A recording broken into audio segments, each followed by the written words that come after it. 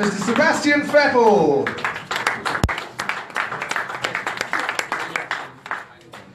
Gentlemen, great to see you.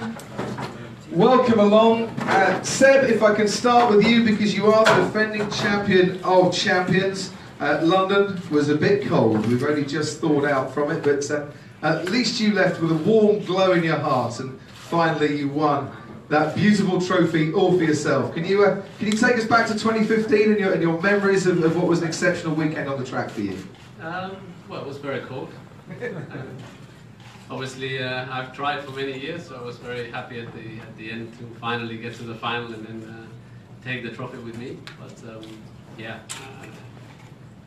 I think you lined up already an excuse. As racing drivers, I think it's always important to have the right excuse, and if it doesn't turn out to be a good weekend for me, then I can say it's just simply been too warm, too hot. So, uh, thank you for that.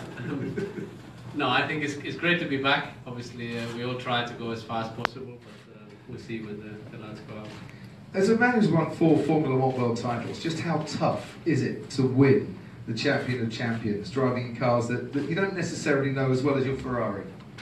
Uh, that's true. So the format obviously is very different, but it's good fun. I mean, mostly, uh, I think we've, we've uh, said the same thing every year, but uh, obviously it's great to, to be part of, of, uh, of this event and uh, great to hang out with the other drivers and away from your normal competitive environment. of course, when you are on the, on the standing on the, on the track and the lights are about to go off, you're very competitive and you want to win. But, you know, off, off track is very easy going and it's a lot of good times, fun times also at night after the event.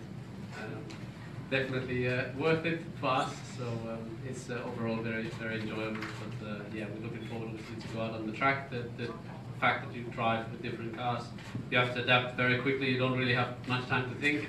So you just have to do what you feel is right. And as I said, sometimes it works, sometimes it doesn't. Well, it certainly worked last time. Thanks ever so much for joining us again. Uh, you have a new teammate for Team Germany, Pascal Wehrlein. I'll come to you next, Pascal. Uh, welcome back. Uh, no pressure, but Team Germany have been very good over the years. So uh, Seb's kind of looking for you to step up to the plate, not let it down this weekend, yeah? Yeah, so definitely. Um, we will try our best, and it's the first time for me with Seb to get in the team, and it's my third time in Race of Champions, and before I was always in the young drivers uh, group and we didn't manage it so well, but I think this year with Sebastian we have a, a great chance again.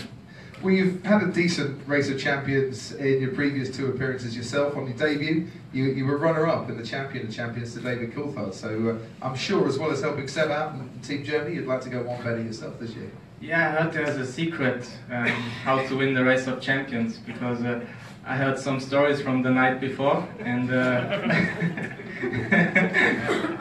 so uh, yeah, let's see.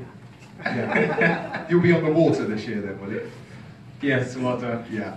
I think there's round about nine other drivers alongside you making sure you're not going to be on the water uh, this year on that one. But uh, is this is this a fun weekend or is it very serious competition for you? No, it's it's a lot of fun. So many different cars, and uh, you know, it's I think the only race without pressure, so you can enjoy yourself and uh, you know have good fun with all the other drivers, some great drivers, and uh, all, all great drivers, of course, and um, yeah, just just enjoy yourself.